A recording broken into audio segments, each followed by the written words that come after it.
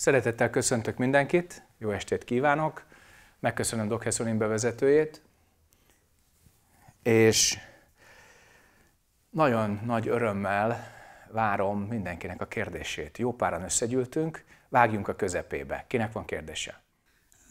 Kaptunk egy nagyon szép bevezetőt arról, hogy milyen egy templomban zárt körülmények között a gyakorlás, minden adott feltétel megvan ahhoz, hogy az ember ide koncentráljon, de mi van velünk otthon gyakorlókkal, akik ha éppen leülnek délután, na, hogy akkor most meditálok egy jót, akkor éppen a szomszéd elkezd fúrni, vagy elkezd a szomszéd az anyjával kiabálni, elég gyakran, vagy egyéb ilyen zűrös körülmények vesznek körül, akkor ezekre a dolgokra figyeljünk, vagy zárjuk ki ezeket a dolgokat. Tehát, hogy mi a tanácsaid az otthon gyakorlóknak.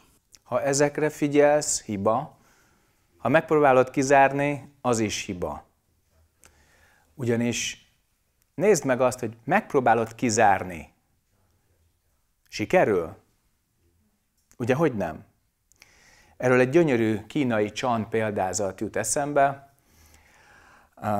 Egy szerzetes, aki nagyon sok 90 napost végzett el, és már nagyon úgy tűnt, hogy van neki valami ott a tantienye környékén, egyszer csak ilyen kínai karakterekkel kiírta, hogy olyan, mint a hamu.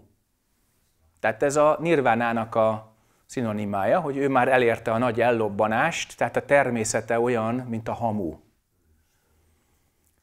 És a remetességében időzött, és ahogy az akkori ugye, hír terjedt, elektronikus hírközlés nélkül, sokkal gyorsabban, ugye, szájról szájra.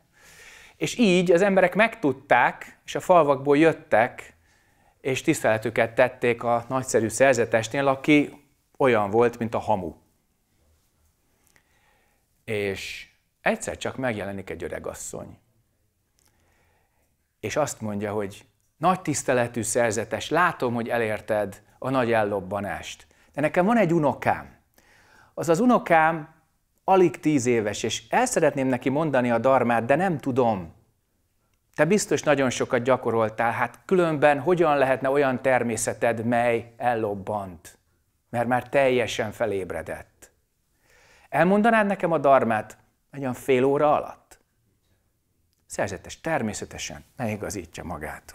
Ültő helyében elmondta fél óra alatt a darmát, de úgy, a csillagok megálltak a pályájukon, olyan gyönyörű volt. Erre azt mondja az öreg azt, hogy tiszteletre méltó, nagyon-nagyon szépen köszönöm. Azt hiszem, hogy ez így egy kicsit hosszú és túlságosan sűrű nekem, leszűkítené de 15 percre, hogyha megkérhetlek. Szerzetes már látja, hogy ez azért egy kemény feladat lesz, 15 perc alatt is elmondja még világosabban, még tömörebben, még lényegre törőbben, és erre azt mondja az öreg, azt, hogy nagy tiszteletű, elhalmozol áldásoddal, de hogyha megkérhetlek, csökkentsük le ezt a felére egy olyan 7-8 perc környékére, hogy az is ugye megmaradjon bennem, és a 10 éves ugye megjegyezze az unokám. Szerint is kicsikét gyanút fog, hogy, hogy mit csinál vele ez az öreg azt, hogy valahol ez így, ez így nem stimmel. Miért kéri már harmadszor is? Elmondja, de már kicsit úgy immel ámmal, és valami ott dörzsölgeti a, az önképét, hogy már harmadszor megkérték, holott még nem volt elég egyszer. Az öreg azt, hogy megköszön, és azt mondja, hogy tiszteltre méltó, el kell mondanom sajnos az egyik problémámat, kicsikét rövid a memóriám, nem akartalak eddig ezzel fárasztani, de hogyha öt perc alatt elmondanád, én, én nagyon-nagyon megköszöném, azt talán meg tudom jegyezni. Akkor már a szerzetes egy, egy kicsikét a tantienyébe kellett, hogy kapaszkodjon, de elmondta öt perc alatt, és azt mondta, hogy hm, magának. Ilyen jól azért még nem sikerült. Hogy öt perc alatt sikerült úgy elmondani, hogy eddig még soha. Nagyon-nagyon örült a, az öregasszony, és azt mondja, hogy tiszteletre méltó, hogy ha, megkérhetlek, szükítsük le egy percre. Van egy másik unokám is, aki csak nyolc éves. Annak az egy perces kellene. Megkérlek, hogy, hogy még tömörebben, még hogyha tényleg annak a picirinek, hogyha elmondanád, akkor már erős teljesebben kellett a tantienyébe kapaszkodni, kicsit elindult a csí fölfelé, és egy percben gyorsan beletette, és azt hitte, hogy ennyi volt. És akkor az öreg asszony azt mondta, hogy hát tiszteletre méltó, leburolok előtted háromszor, de csak egyetlen mondatot mondj, amit elvihetek minden érző lénynek.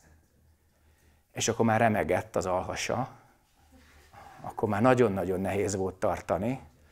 És az egy mondat után, amikor az öreg azt mondja, hogy most már csak egyetlen szót mondj, akkor a szerzetes kitört, hogy elég volt, takarodj innen, ne froszlizzál engem tovább! És akkor az öregasszony ismét meghajolt előtte, mélységesen, majd felvette Avalokitésvara Bodhisattva szivárvány színű testét, fellépett a legközelebbi felhőre, és ahogy lebegett el, úgy mondta a szerzetesnek, még van egy kis parázs az alatt a hamu alatt. És egy utolsót meghajolt, és szertefoszlott a levegőjégben. Úgyhogy vigyázzunk a jelenségekkel, mert minden jelenség tanít, csak nem mindegy, hogy hogyan. Tehát, hogy minden zenbotnak két vége van, és amit a zenben nagyon szeretek, az az, hogy amiben az emberek általában nehézséget látnak, ahol fönnakadunk a saját dualisztikus nézeteink szöge és drótján, ahol elképesztő akadályokat tapasztalunk, a zen szemléletet vált. Tehát nem azt mondja, hogy a világ jó vagy rossz, hanem azt, hogy éppen ilyen. A szomszédasszonynak a hangja az nem jó vagy rossz, hanem éppen elhangzott.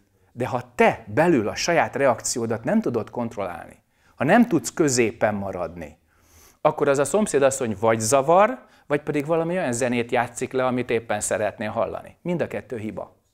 Tehát amikor azt mondjuk, hogy tiszta, térszerű, tükörszerű tudat, az nem valami pótfogalom az az, ami kell. És ha az megvan, akkor minden tanít. Tehát amikor azt mondja az endmester, hogy menjél, kérdezz meg egy fát. Zen első pár hónapjában, amikor ezt elolvastam, azt mondja, hm, most nem tudják, mit kell mondani? Pótcselekvés van? Menekül a magyarázat elől? Amikor kint vagy a világban, akkor megfelelő mennyiségű tartalék kell. Azért fontos a templomi gyakorlat. Ha nincs elég tartalékod, minden akadály. Ha van elég tartalékod, minden tanít. Legnagyobb nyugati bódhiszhatvánk, amikor azt mondta, hogy akinek van, annak adatik, akinek nincs, attól még az is elvétetik, amilyen van. Mire gondolt? Mire gondolt? Mi volt a tanítás lényege? Tehát egy nagyon fontos szemléletbeli és tapasztalatbeli tény van itt, hogyha megfelelően viszonyulsz a világhoz, a világ segít téged, ha helytelenül, akkor a világ állandó akadályt jelent. És a legszebb az, hogy a világ önmagában nem ilyen vagy olyan, hanem a tudatod teszi valamilyenné. Iszonyú fontos. Úgyhogy ezért érdemes gyakorolni, hogy beálljon a pillanat tisztasága, a világ ilyensége megmutassa magát, és a tudatot teremtő ereje, teremtő potenciája, teremtő mozdulata is megmutatkozzék.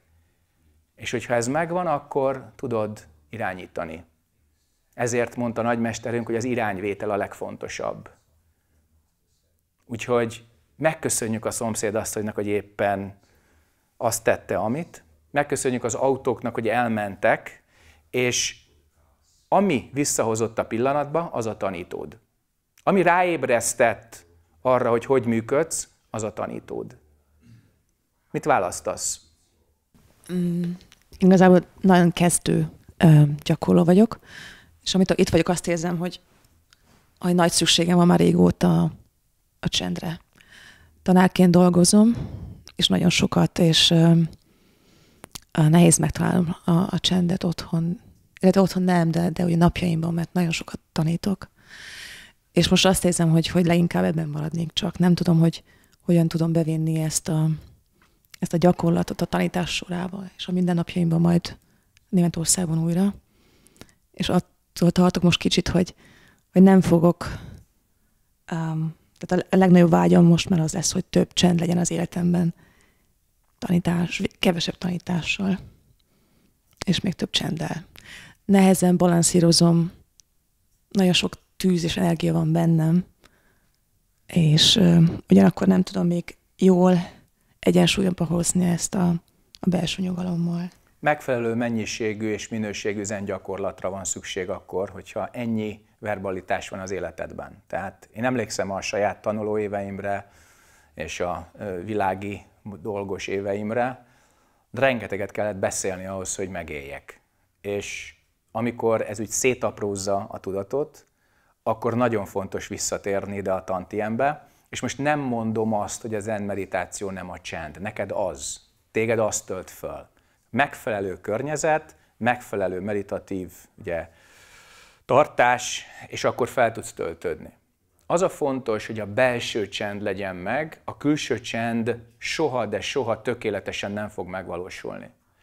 Van egy ilyen mondás, hogy amikor az utolsó hegycsúcsra felhallatszik a völgy hangja, akkor jön a darma végét jelző időszak. Tehát Koreában is rengeteg közlekedés, infrastruktúra és egyéb termett az elmúlt 50 évben, alig van már olyan hegy, ahol ne hallaná valami olyasmit, ami emlékeztet a völgyre. Autópálya, repülő, vonat, egyebek. Úgyhogy a külső csend az nem lesz meg, de a belső az, hogy nem mozdulsz rá, hogy nem hozol létre semmit, hogy nem reagálsz, az meg lehet. És ezt a fajta, azt mondom, könnyed, mindennapi szamádit, ezt kiviheted. És ezt be is viheted az órára. Egyébként főleg Németországban, ahol nagyon nagy hagyománya van a pedagógiának, a porosz utas módszertől kezdve a Waldorfig, tehát mindent tudnak, nem eretnekség bevinni az órára az első három percre egy kis légzésfigyelést, figyelemösszpontosítást, kapcsolja ki a mobilt, és kapcsolja ki egy picikét a hétköznapi külső, ilyen egérként mászkáló és keresgélő tudatát. Ez már a tanulás technikába tartozik. Úgyhogy ezzel kapcsolódhatsz az osztályteremhez, kapcsolódhatsz a fiatalokhoz, és semmiféle zen, vagy buddhizmus, vagy vallás semmi nincs, csak mindenki itt van, akkor érkezzetek meg száz százalékig. És ezzel vissza tudod tölteni magadat is. Jó? Um, lenne egy kérdésem az intuíció és az illúzió témakörhöz. Um, ez nagyon, nagyon nem professzionális a kérdés, mert nem olyan tiszta tudatom. Um, mi a különbség a, az ilyen mély megérzés és az illúzió között, amire azt gondolom, hogy konkrétan teszem a, a, a, a tárgy, a téma tárgyát. Én 16 éve élek Németországban, és most azt érzem pár hát, hogy végre hallgatok a megérzésem, és hazaköltözök Magyarországra. Um, és egy pár dolog így változik két hete az életemben, és nem tudom, még épp, hogy megőrültem-e, vagy csak tisztul a, nem tudom, a tudatom, vagy csak merek a meditáció által is hallgatni a megérzéseimre, amiket eltemettem. Mit tartok a kezemben? Egy botot. Akkor nem örültél meg, minden rendben van. Tehát a korszakváltás az fontos. Tehát érzed, hogy egy fejezetnek vége van, egy új fejezet elkezdődik. De az, hogy milyen érzelmekkel, milyen lelkiállapotban mész ebbe bele, az mindig változik. És az irányvételünk rendkívül fontos, mert ha nem hiszünk abban, amit csinálunk, akkor nem lesz rá energiánk. Tehát mindig hallasz, hogy szia, szia, bocs, de most nincs időm. Akar velem tényleg találkozni? Hát nem. Miért? Mert nincs ideje azért. Tehát nagyon fontos, hogy amikor elhatározol valamit, akkor ezt belül lásd, hogy tényleg az az utad. És erre az a kérdés utal igazából, hogy mi a dolgom. És hogyha ezzel a kérdéssel ülsz, hogy mi a dolgom, az illúziók lepörögnek, és az intuitív impulzus marad. Tehát annyira gyöngén és finoman emelkedik a felszínre az igazi intuitív válasz, hogy a karmádnak a zajában először nem hallod. Mert minden egyéb van. Az összes állat ordít az állatkertben, csak azt a nagyon finom kis hangot nem hallod meg, ami a cinke ott a fán. Ezért fontos az a tudat, amely tényleg gondolkodás előtt, és ezeket a dualisztikus, nagyon durva folyamatokat kikapcsoltad, mert akkor hallod meg igazából, hogy mélyről mi jön. És az nem több hang, az egy. És az nem fecseg, nem gondolkodik, egyszer ad valamit, és utána kész. Ha megcsinálod, megcsinálod, ha nem, nem. Semmi gond. Nincs vita. Tehát az egy tudatban nincs vita. És hogyha tettél még egy kört karmikusan, és eltelt egy pár év, és megint oda jutsz hasonló helyi értékű helyzetbe, akkor megint hasonló helyről, hasonló érzette jön egy újabb impulzus. És szerintem az a dolgunk, hogy ezt a nagyon tiszta, intuitív réteget megtapasztaljuk, vagy állapotot megtapasztaljuk, mert ebből jönnek az egészleges impulzusok, késztetések. Ez nem karmikus lerakódás, ezek nem szanszkárák, ezek nem klésák, ezek nem szennyeződések és identitásmorzsák, ez valami sokkal mélyebb. És amikor ez elkezd működni, akkor előtte nincs gondolkodás, utána nincs gondolkodás, és egyszer csak érzed, hogy ez az. És ezen a frekin rajta akarok maradni. Ezt régebben egy olyan hasonlattal szemléltettem, második világháborúban még nem voltak olyan fejlett radarok, mint most, és sötétben kellett landolni a legtöbb brit reptéren, mert hogyha nem, hogyha ki volt világítva, lebombáztak egy pár óra alatt viszonlátásra. Éjszaka is, nappal is. És az éjszakai kivilágítást radarokkal pótolták, el volt sötétítve minden, kifutópálya bal oldalán egy radar, jobb oldalán egy radar, és az egyik azt mondta, hogy píp, píp, píp, a másik oldalon azt mondta, hogy píp, píp, píp, és hogyha középen mentél, akkor a jel folyamatos volt. Folyamatosan hallottad. Ha elmentél balra, akkor szaggatott, ha elmentél jobbra, akkor is szaggatott. És mindaddig, amíg folyamatos radarjelet hallottál, addig a sötétben is le tudtál szállni, látszólag a semmibe, csak a magasságmérőd volt, meg a hang. Kész.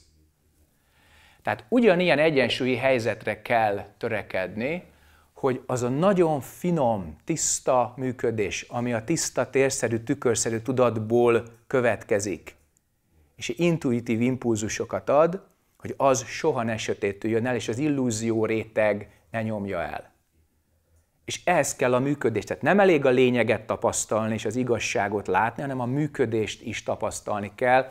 És megint csak az interjú szobára mutatok, mert ott vannak ezek a teszthelyzetek, hogy le tudtál-e szállni évfél után a kifutópályára, vagy pedig összetörted magadat az árokban, mert azt hitted, hogy hogy, az közben dehogy.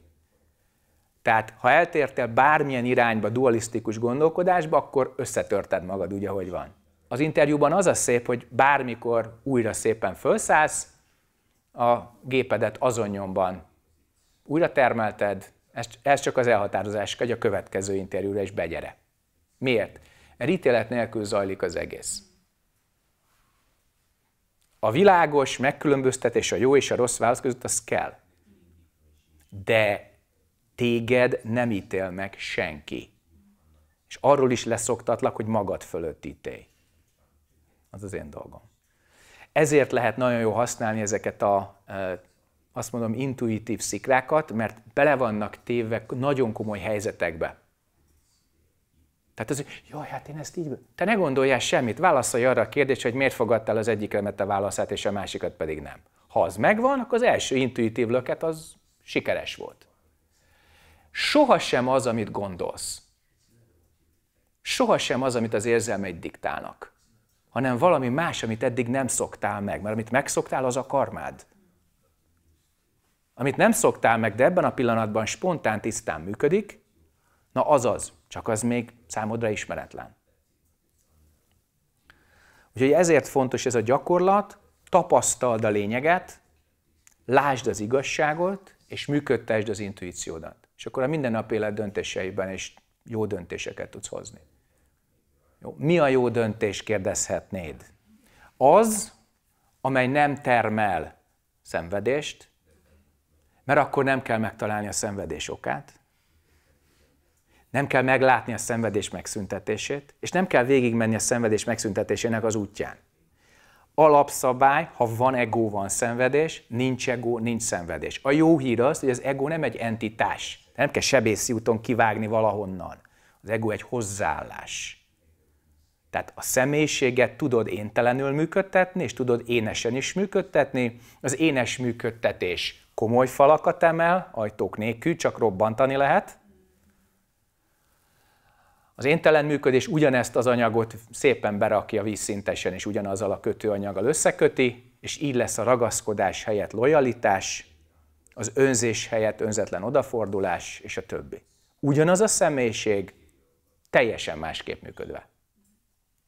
Úgyhogy nagyon fontos ez, mert az emberek kezdik, hogy mi bennem a hiba?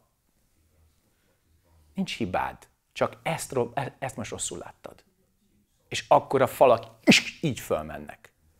Pillanat múlva kicsit kitisztul a látvány, és hirtelen eloszlik ez az iszonyatos, dualisztikus betartás, az összes negatív érzelem, negatív gondolat és a többi, ami addig szennyezett és mérgezett és a többi, eloszlik, ugyanaz a személyiség utat épít ugyanazokból az elemekből, mert nem falat épített. A Darmo baleset az az, amikor én azt gondolom, hogy ez nekem már régóta megvan a válasz, hogy nekem Németországban semmi dolgom nincsen, és a lelkem az itt van, viszont mindig eltemettem. Mert hogy jobb a helyzetem ott kin, és ott van a cél, stb. stb. Tehát én azt gondolom, hogy nagyon sok Darmo balesetet elkövettem magam ellen. Ez más. Ez a karmáthoz való ragaszkodás. A Darma baleset az intenzív zen gyakorlat és egyéb buddhista meg meditatív gyakorlat közben szokott előfordulni. A legnagyobb darma baleset az, hogy én megvilágosodtam.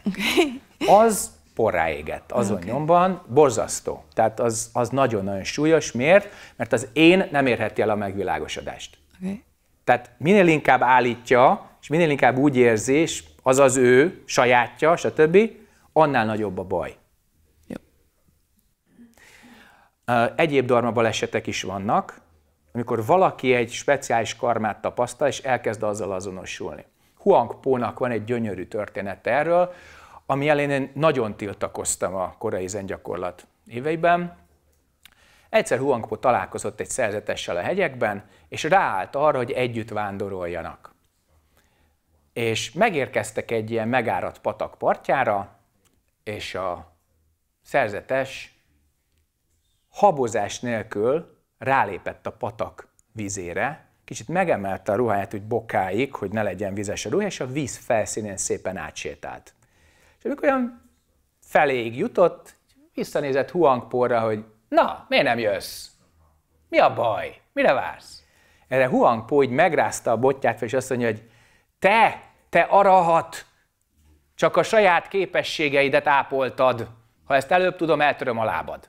Ez azért fontos, mert a gyakorlatot nem magunkért végezzük. Ha magunkért végezzük, az a legnagyobb darma baleset.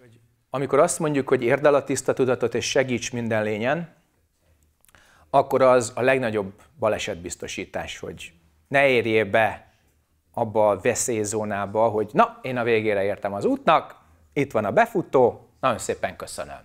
Tehát ez a darma baleset. A karma baleset az, amikor rossz döntéseket hozol. Az életben. Ne, itt kellett volna vásárolni, de ott vásároltál. Ezt kellett volna aláírni, de mást írtál alá, stb. stb. Ugye az életet így könnyebb javítani, de könnyebb elrontani. Amikor a darmát gyakorlod, akkor nagyon sok minden történik, de ha betartod a szabályokat, akkor pontosan az történik, aminek történnie kell. Ha elkezdesz ragaszkodni a karmádhoz, elkezdesz ragaszkodni a látott, hallott mozifilm bizonyos kockájához, abból csinálsz egy ént, vége. Tanító lesz a talpán az, aki kirobbant téged onnan. Mert a böcsületes tanító nem csak mosolyogva, kedvesen és felhasználó barát módon tud viselkedni, ha látja, hogy baj van, addig küzd veled és érted, amíg ki nem robbantott onnan. Erre lehet számítani akkor, amikor valakinek egy megcsináltam. Mit? Mit csináltál? Most éppen mit csináltál magadból? Mi lettél? Ez a darma baleset, és a karmádat előbb-utóbb kiigazítod, ha nincs darma baleseted. Jó? Ha már szóba jött az őrület, akkor egy ilyen témát dobnék be.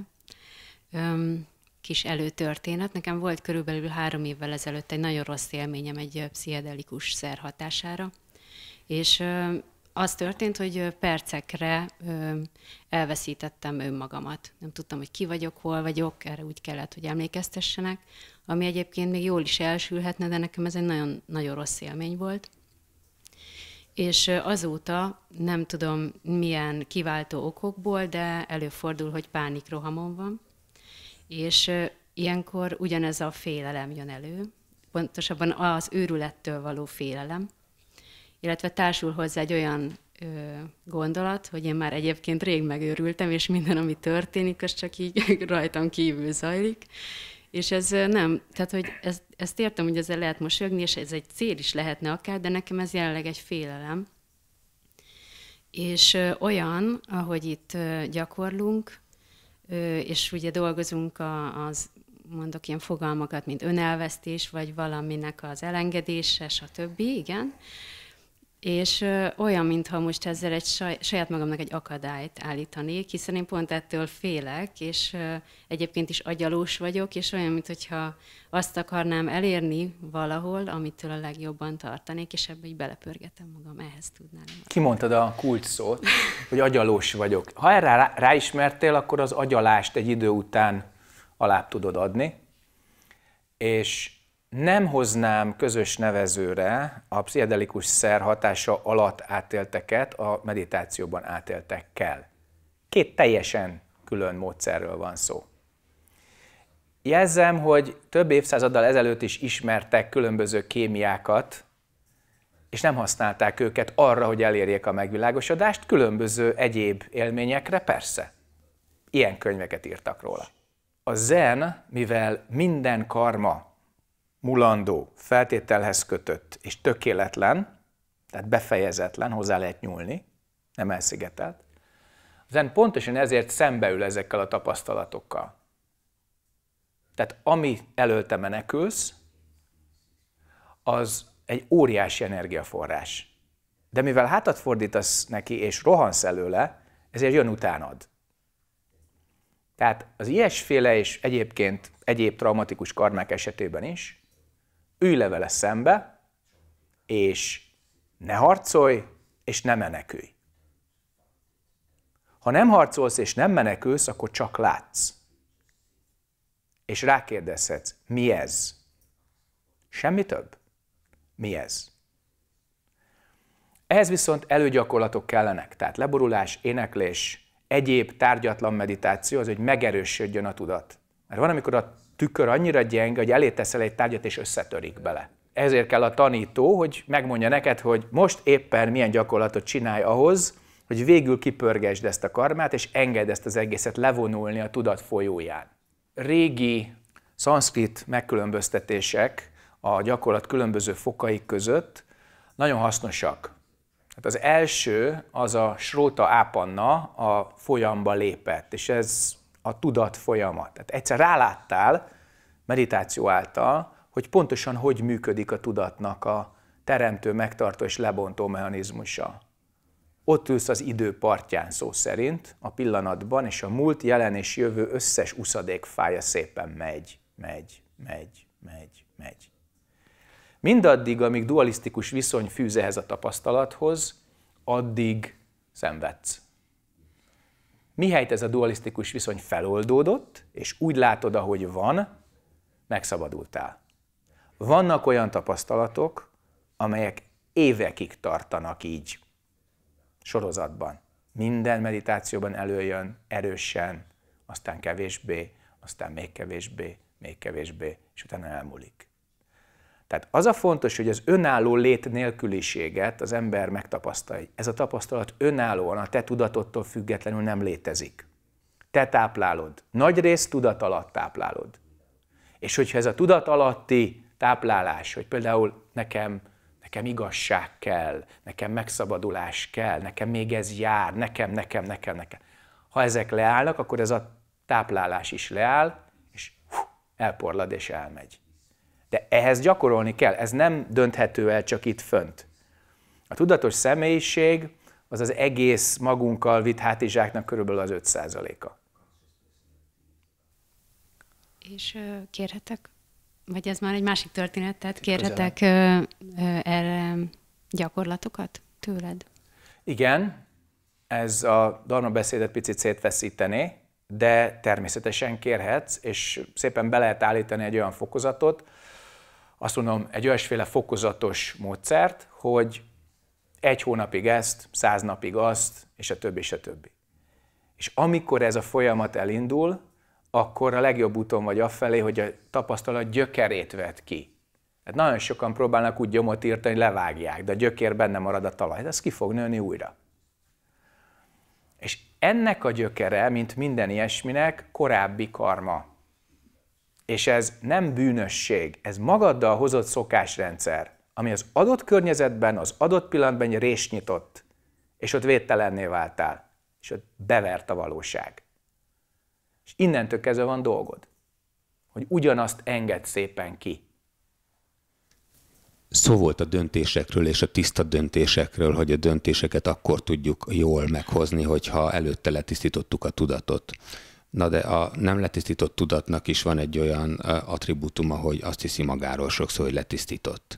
Sőt. Sőt, még pláne, hogy letisztítottabbnak. Minél jobban azt gondolja, annál kevésbé igaz. Ez, ezt, ezt az előbb mondtad is talán, hogy minél inkább azt mondja, hogy elértem annál kevésbé. Na de hát minden döntés mellett nem tudunk egy kon interjút beiktatni, hogy de na most igen. éppen... Ó, de mennyire!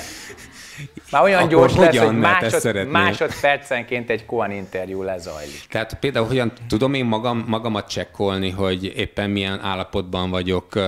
Csekkolod, vesztettél. Igen. Látod, nyertél. Jó, A csak azt, csekkolás ez egy állandó agymunka. úgy értem, hogy megfelelő állapotban vagyok-e most egy komoly döntés meghozatalához például. Nem. Nem, most nem. És most? Rozsdás barna. Tehát most nem. Tehát amikor, amikor a tudat állandóan mozog, keresgél, latolgat és egyebek, akkor csak részigasságokat lát, még akkor is, ha nagyon okos. Ha egyszer hagyja magát megnyugodni, ha egyszer tisztán lát, akkor egészlegesen lát minden okot és következményt, nem analitikusan, nem így programsoronként futva, hanem egyszerre, kifejtetlenül. Nagy részt tudat alatt működik ez az egész. És a tudat felszíne csak a döntés jön.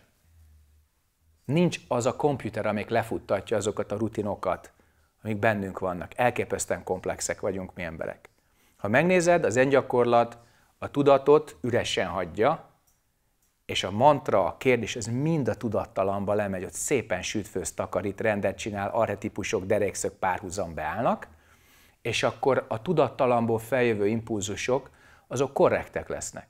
Ahogy mondtam, 5, maximum jó esetben 10% a tudatos a lényünknek, ez a tudatos személyiség. Na most nem lenne érdemes ezt a 90-95%-ot kicsit kitakarítani? Tehát mindenki ezzel a tudatos személyiséggel szeretne mahinálni, hogy majd ilyen technika, majd olyan technika, most ezt gondoljuk, most ezt érezzük, most ez, ez, ez, ez, ez, és a tudattalamból pedig közben ömlik a trutyi főfele. Tehát amikor alapozunk, az azt jelenti, hogy engedjük a tudattalant megtisztulni. Ez a meditációban úgy zajlik, hogy a 6-os, 7-es, 8-as tudatot kikapcsolod. Tehát a fogalomalkotót, ítéletalkotót, emlékezőt, ezt elengeded úgy, ahogy van, és maradsz a pillanatban. És amikor ez megvan, akkor a tudatnak a spontán öntisztuló képessége elindul. Enélkül a takarító munka nélkül nincsen spontán jó döntés mert a fogalomalkotó, ítéletalkotó, emlékező tudat ragaszkodásai, identitás morzsái, ezek felrakják azokat a szűrőket, amelyek miatt nem látsz tisztán magadat se, más se, a világot se. Tehát ha tiszta a tudat, akkor a spontán döntés nagyon jó, ha nem tiszta a tudat, akkor csak impulzív vagy. Akkor türelmetlen voltál. És iszonyú könnyű összecserélni ezeket. Úgyhogy meg tudsz-e állni tudsz-e mozdulatlan maradni, és közben cselekedni. Tehát ez a Wei Wu Wei kínai fogalma, mozdulatlan tudattal, nem cselekvő tudattal mozdulni és cselekedni. Nem ítéletalkotó tudattal megkülönböztetni. Tehát ha a paradoxonokat megfelelő irányba futtatod ki, akkor ezek nagyon jól megmutatják magyarázkodás, rendszeralkotás, visszalassulás, elmerevedés nélkül, hogy pontosan hogyan működik a tudat. Tehát paradoxonokból vagyunk sokkal inkább összerakva, mint valami kis logikus struktúrából. A logika kell, hallottuk a kétféle fizikus és a matematikus közti nagyon komoly különbséget, de a lényeg az, hogy a racionalitás és logika az szükséges része, de nem az egésze az életünknek. Tehát a gondolkodás nagyon jó szolga, de borzasztó uralkodó. Ezért kell a döntéseket szerintem a gondolkodás segítségével valami komolyabb, magasabb szintű alapra helyezni, és akkor a gondolkodás azt fogja szolgálni. Tehát nézd meg, koninterjúkon gondolatok kellenek, de a folyamatos gondolkodás, mint alap, az inkorrekt. Nem lesz jó a válasz. Jó? Ezért minden pillanat Koan interjú, minden döntéshelyzet Koan helyzet. Tehát nincs kapaszkodó. De van. Most mondtam el. Ez a te kapaszkodód. Amíg bele nem kapaszkodsz. Az előzőekhez kapcsolódik a kérdésem. Van egy ismerősöm, most arra a kérdésre, hogy és most hol gyakorol, vagy gyakorol-e, azt a választ adta, hogy neki már nem kell gyakorolnia. Az egyik kérdésem az, hogy elképzelhető ez? A másik kérdésem pedig az, hogy hogy lehet ráébreszteni az illetőt, vagy hogy lehet rásegíteni arra az illetőt, hogy, hogy valahogy belássa, hogy nem a helyes úton jár. Annélkül, hogy személyeskednék, hogy megbántanám. A dolgod az, amit már hallhattál egy párszor, hogy a steril mull lappal, sebhintőporral, sebbenzinnel és egyebekkel megrakott tálcával ott állj a falnál, hogy amikor az adja a másikat a gyakorlónak, vagy a gyakorlást abba hagyónak, akkor megkérdezi, hogy bekötözhetem? És akkor lefertőtleníted a sebbeit, és szépen bekötözöd. Addig nem. Tehát van ez a gyönyörűséges koanunk, hogy valaki bejön az újonnan elkészült Wongwangszai eredeti fény templom kisebbik, majd nagyobbik zentermébe, hamut szóra buthára, és füstöt fúj az arcába. Ott vagy. Mit csinálsz? Ez a lény azt hiszi, hogy neki már minden megvan, és hogy bum, csak megüt. Ha nem érted, hát ez a lényeg. Bum! De hogyha te, mint zen tanítvány és dharma tanító egy cseppet, ugye? Te nem csinálsz semmit, akkor nem tanulsz és nem tanítasz. Hogy reagálod le? Hogyan kezdeményezel valamit, amivel ugye föloldhatod ezt az elképesztő falat? Igen. Pont ez jutott nagyon sokszor eszembe. Na most, ha az a dolgod, hogy kérdezz tőle, akkor nyugodtan kérdezhetsz tőle valamit, hogy a helyes megkülönböztetés, vagy a helyes útirány felé ugye eltolja az illetőt nem fog oda menni. Amíg üthet, addig üt, mert száz százalékig én vagyok az én telen. Tehát ez a legnagyobb probléma. Meg van róla győződve, hogy, hogy amit ő tesz, az úgy már jó. Nagyon fontos látni az ember életszakaszait. Tehát ez, amit most mondtál, ez a buddhista fiatalság, bolondság időszaka, amikor mi nagyon bízunk abban az energiában, amiről nem is tudjuk, hogy micsoda, csak mondjuk, hogy én, és. Csak, áj, te jó. Úgyhogy ezért mondom, állj ott segítőként, de ne állj az útjába, állj mellette, de ne akard megmondani neki, hogy mi a tuti úgyse fogja meghallani. Amikor eljön az idő, akkor segíthetsz neki. Jó? Én azt vettem észre magamon, hogy amikor a komfortzónámból kilépek, akkor elfog a pánik engem is.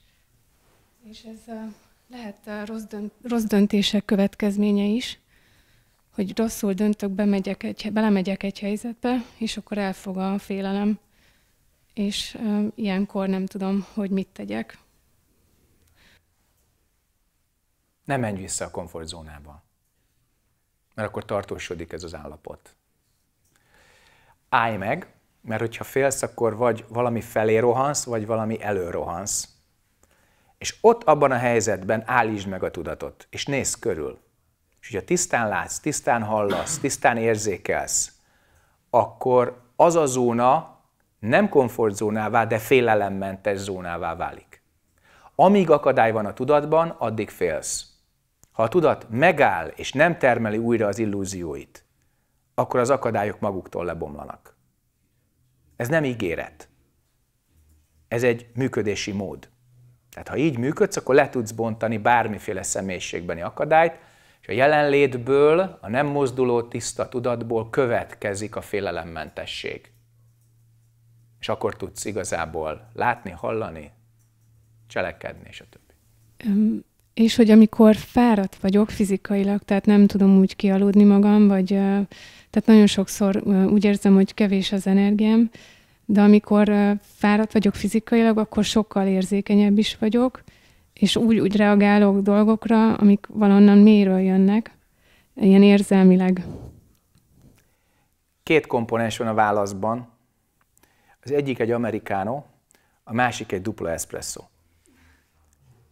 Beletöltöd a dupla espresszót az amerikánóba, és szép lassan, hörpölgetve megiszod. Na, a fáradtságnak vége lesz, de úgy szétráz, hogy az borzasztó. Utána fáradtabb leszel, mint előtte. Tehát, ha külső energiaforrást veszel ilyenkor igénybe, innen a kávé hasonlat, akkor az a belső tartalékaidat elképesztő gyorsan kiúzsorázza. Bármiféle gyorsítóról van szó. Ezért vigyázzunk. Energiatabletta, energiaital, energiavegyület, energia, energia, vigyázzunk mert nem mindegy, hogy milyen információ kódolódott belé. Tehát, hogy mit vált ki a tudatban. Mert kémiailag a tudatot befolyásolja, ezért szoktuk fogyasztani őket. Ezek nagyon gyorsan kiúzsoráznak minket. Tehát mit csinálsz akkor? Visszamész a tantienhez, az kémiamentes. Ott van a tudatnak az egységállapota, az energiának az egység tapasztalata, és akik nagyon-nagyon komoly tantien gyakorlatot folytatnak, azok észreveszik, hogy hm, kevesebb alvás elég. Inkább ébren tudok maradni, inkább jelen tudok lenni. A tudatnak az álló képessége az a jelenlét erejével és stabilitásával szinonim. Ha a tudatban van elég üzemanyag és elég erős, akkor nem fog félni, mert elemében van, lényegében van. Ha nincs elég energiája, ha nincs igazi helyben maradó tiszta jelenléte, akkor fél elemében van, tehát fél.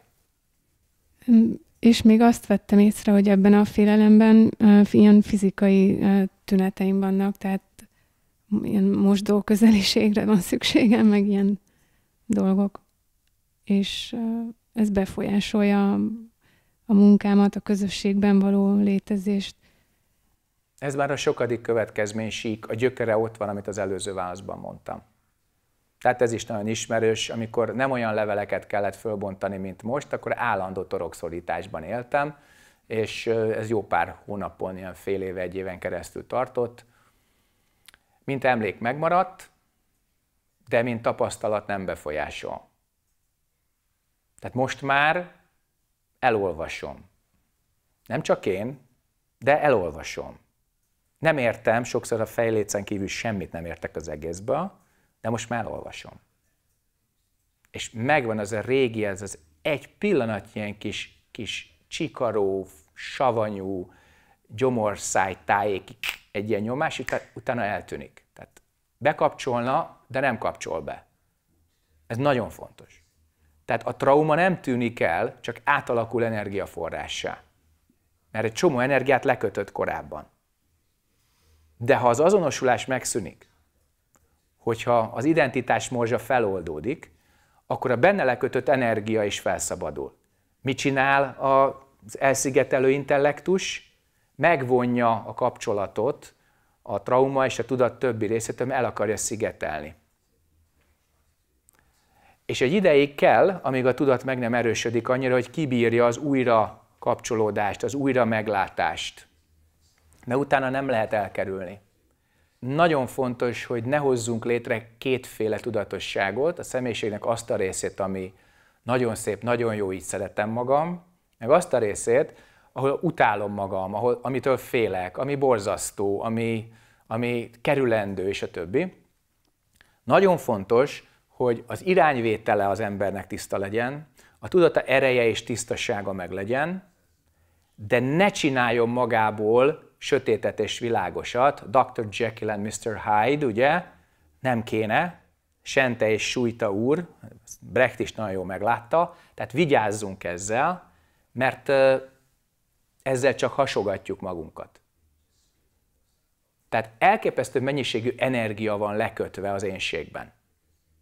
Pozitív, negatív, pozitív, negatív élmények mind lekötötték. Hogy engeded ezt ki? Néha úgy érződik, hogyha meglátsz valamit, olyan, mintha a szellemet kiengednéd a palackból. Elképesztő erővel hatalmas felhő, hatalmas energia szabadul fel.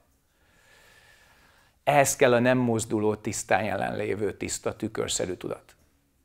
És akkor ezt az energiát felhasználod, és nem a korábbi élmény használ föl téged. Ez a különbség az atomerőmű és az atombomba között. Hogyha uralod a karmádat, akkor atomerőmű lesz belőle, ha nem, akkor atombomba. Egyetlen pillanaton múlik az egész.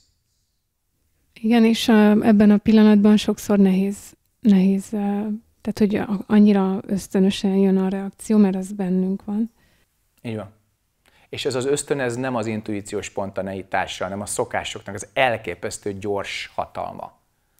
Ezért kell nagyon észnél lenni, amit a magyar úgy mond közni, hogy észnél lenni, de ez nem észnél levés, ez az ész előttiség.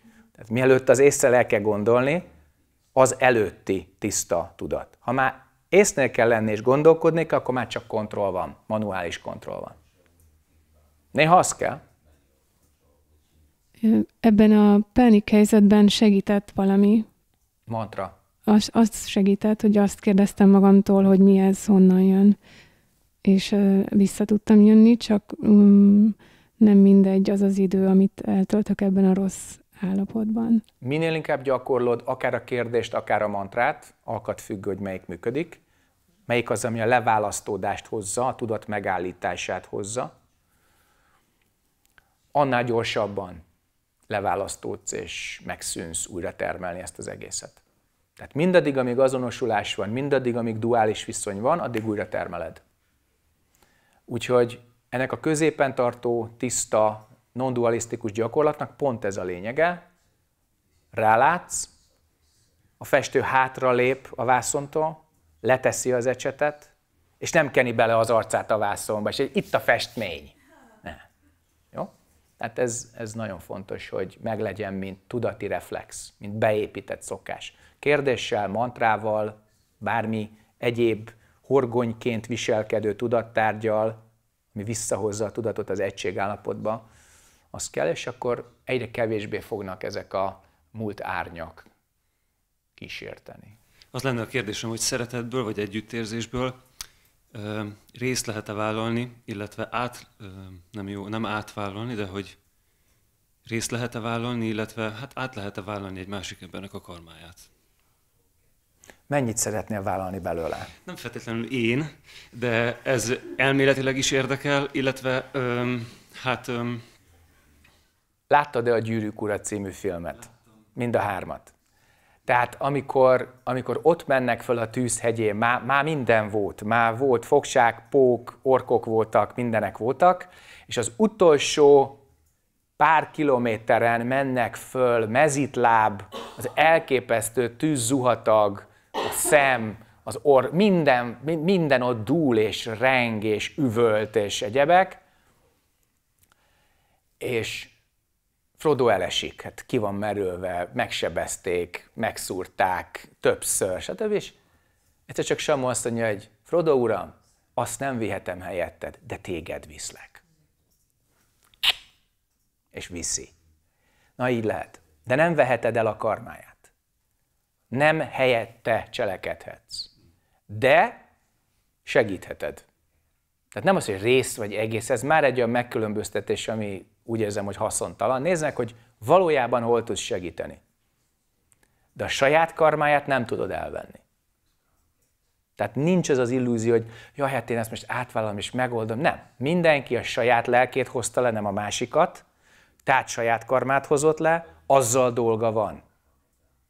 De segítheted. Ha összerodjik, segíthetsz fölállni.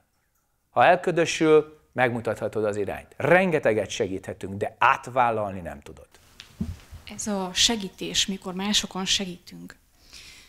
nem fordulhat ellened? Illetve kérdezzem még pontosabban, mi van, amikor ellenem fordul? Jártál erre a kettős pince úton néha sétálni? Gondolom igen. Láttad a lovakat? Igen. Láttad a kiírást? Kérjük a kedves lóbarátokat, hogy ne etessék a lovakat. Vajon miért? Nem csak azért, mert a répát szeretik meg, szeretnénk kontrollt gyakorolni, mint lótulajdonosok, hanem azért, mert hogyha odahívsz egy lovat, ha tudod, hogy kell odajön, még akkor is, hogyha nincs nálad semmi. Megfelelő gondolat, megfelelő fókusz, megfelelő gesztus, hang, és odajön. Megpróbálod megsimogatni, légy óvatos. Szépen így kitátja a száját, és hogyha hagyod, akkor oda megy a kezedhez, és Úgyhogy, ha segítesz valakinek, akkor légy óvatos.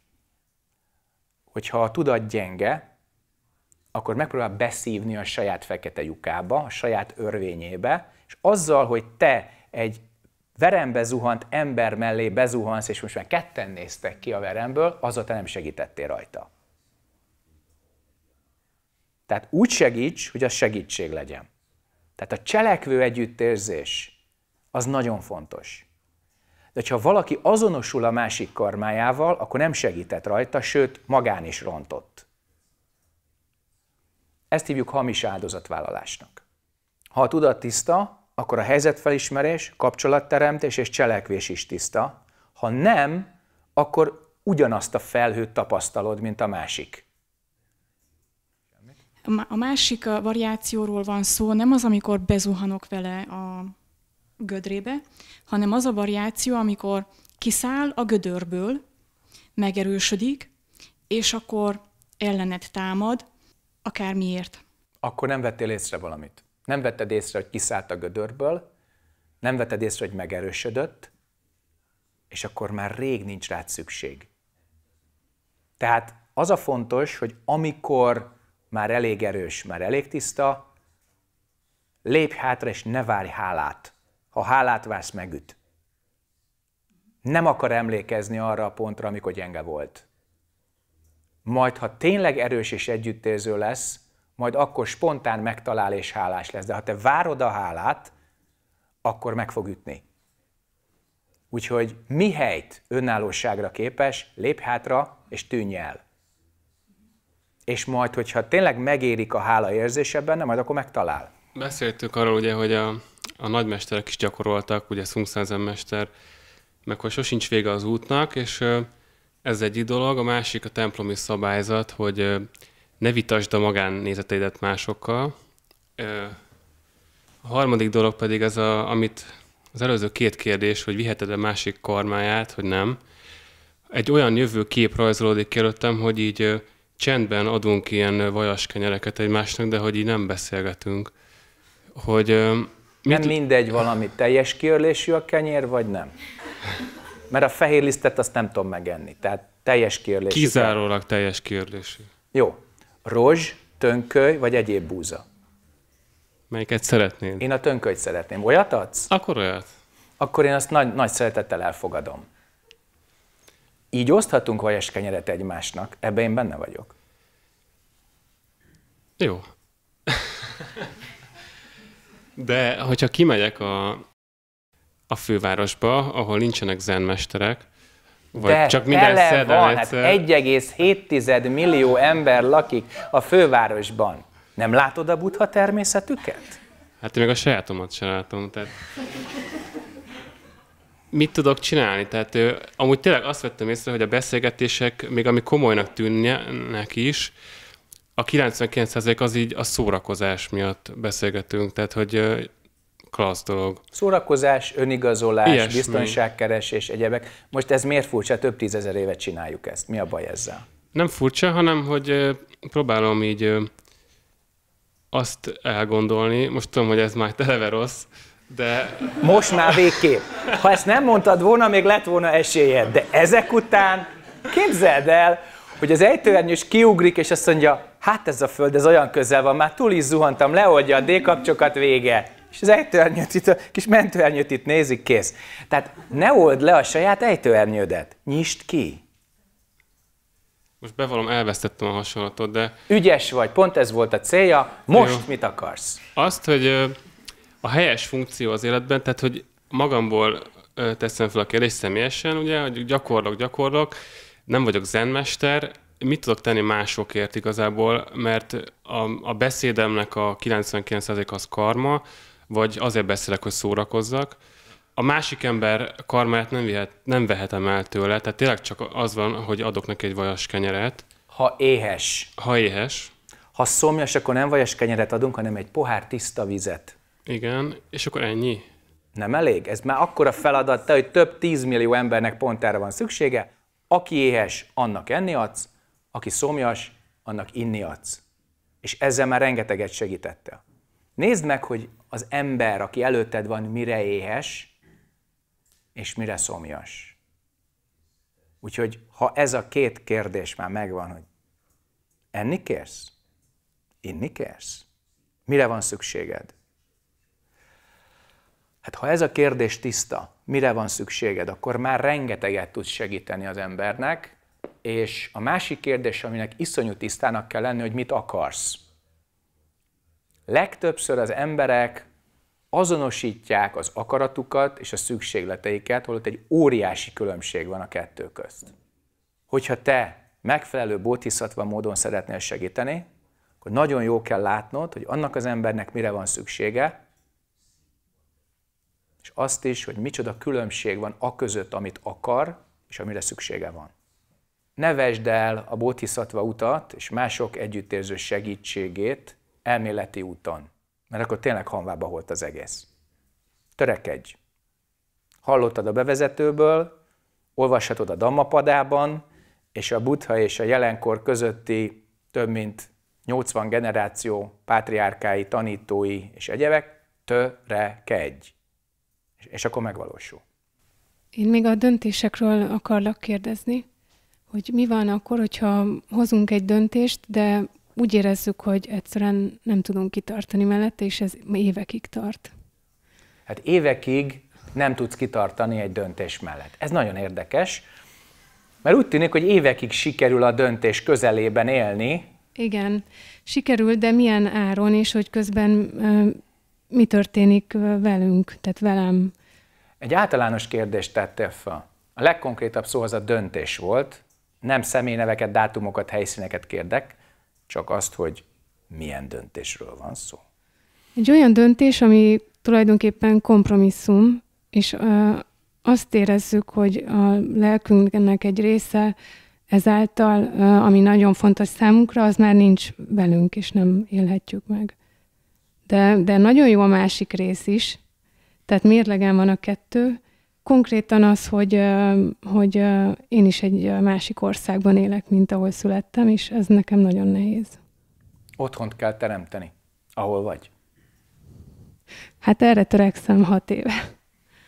Akkor törekedj tovább. Ez nagyon fontos, különben egy ilyen puszta sivatagszerű élményed lesz úgy, hogy a leggyönyörűbb környezetben élhetsz. Igen, igen, ez, ez történik.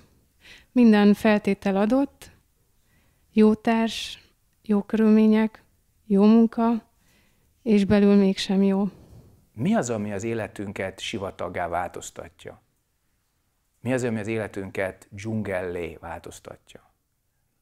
Vagy termékeny kerté, ligetté, társassággá, vagy egyedül létté? Mi ez? Tapasztald meg azt, ami ezt teremti, mert mindenhol otthon lehetsz, és mindenhonnan kirepülhetsz. Rajtad múlik. Tehát mi teremthetjük, megteremthetjük? Mi teremtjük. Mi teremtjük. Ha látod, ha nem. De akkor miért ilyen nehéz magunk mögött hagyni valamit? Miért nem engeded el? Hát, mert elemi részem. Igen? Mi vagy? Az erdő illata. Akkor kivágják a fákat, és meghalsz. Akkor más kell legyek. Az illat érzi az illatot? Nem. Mi érzi az illatot? Én. Mi az én? de lehet, hogy egy dallam vagyok. Leestél a hullámtarréról, és maga alá temetett a gondolkodás. Tehát az illat nem tudja az illatot. A szem nem látja a szemet. A fül nem hallja a fület. Ezért nem vagy azonos az illattal. De ragaszkodom hozzá is, ez, ez a nem jó, ez, ez a ragaszkodás. Tehát, hogy... Ezért kérdeztem, hogy mikor engeded el? Hát nem tudom, hogy el kell engednem, vagy nem. És uh, körülbelül minden döntést így, így, minden döntés előtt így állok. Ha nem engeded el, nem tudod újra teremteni. Hétköznapi döntések előtt is. Az illat már rég nincs meg. Lehet, hogy már az erdő sem.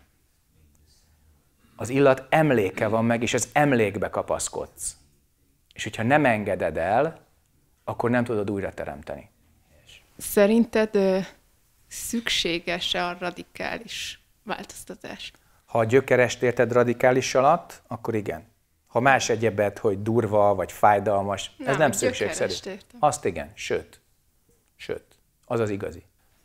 Örülök, hogy ennyien összegyűltünk ma, és együtt gyakoroltuk a darmát. Megköszönöm mindenkinek a három hónap alatt tett erőfeszítését, legyen az három nap, három hónap, és a kettő közt bármennyi idő. Azt érzem, azt látom, hogy amit itt csinálunk, az jóval túlnyúlik e templom falain, földterületén. Azokból a közvetlen visszajelzésekből nagyon jól lehet látni, hogy a darma mire képes, hogyha helyesen gyakoroljuk, amelyek elérnek minket, és azokból a visszajelzésekből, amelyek nem szeretik azt, amit csinálunk, azokból is rengeteget tanulunk. Remélem azt, hogy minél többet tudunk itt találkozni, gyakorolni a tant, felébredettebb tudatot ki tudjuk vinni a templomkapunk kívülre, utána pedig vissza tudunk jönni egy kis karbantartásra. Köszönöm a figyelmet, köszönöm a gyakorlatot, és találkozunk nem sokára egy újabb visszavonuláson, egy újabb zen táborban, egy újabb tanfolyamon. Köszönöm a figyelmet!